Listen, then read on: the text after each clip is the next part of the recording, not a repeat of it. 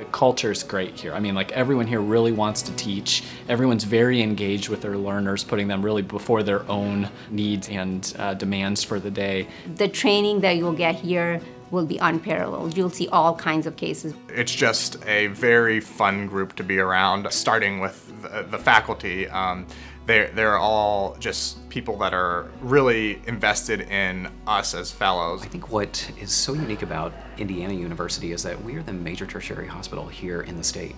So everything comes to us. Um, and that can be at the Veterans Hospital, University uh, Hospital, uh, Riley, and here at Eskenazi or at Methodist. We've seen cases of like cryptococcal meningitis. We saw a case of rhodococcus bacteremia. We saw a case of uh, listeria meningitis, all in the last like three days. You will see everything that you need to see to feel comfortable once you leave fellowship in taking care of these patients the rest of your career. One thing that makes this program unique is our relationship with AMPATH. We've had a 30 year relationship with the School of Medicine in Western Kenya. And so this gives an opportunity for people who want to do global health related ID to do some on site work there as part of their fellowship, to do part of their research there. The fellowship program um, appreciates research and values it. And so I've had the opportunity to work with several fellows on research projects. Um, and we've been able to get some publications out of that. Being able to get that training during your, your fellowship is really important. IU is a great place for mentorship.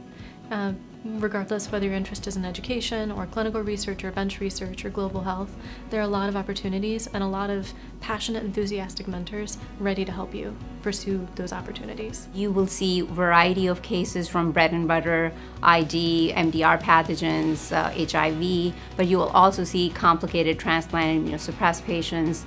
Uh, we have uh, very uh, interesting neurosurgical cases, cardiovascular cases. You, we see LVADs, bilateral lung transplant. So we're one of the largest transplant centers uh, for liver, for pancreas, for intestine, and we're fairly large for kidneys too.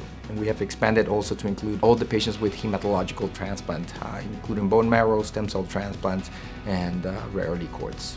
To me, uh, infectious disease providers should be the best differential diagnosticians in the hospital, whether or not it's an infectious disease condition or not.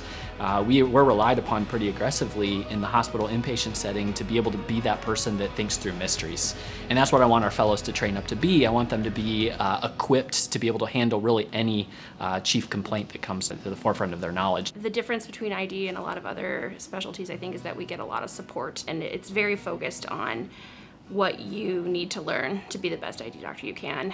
Um, and a, lot of that I think comes down to Syra actually supporting us a lot. Um, she's a great program director and she looks out for us. Everything that you could read in a textbook, you will see here. It's a wonderful city. Cost of living is low. So if you have a family, don't worry about bringing them here.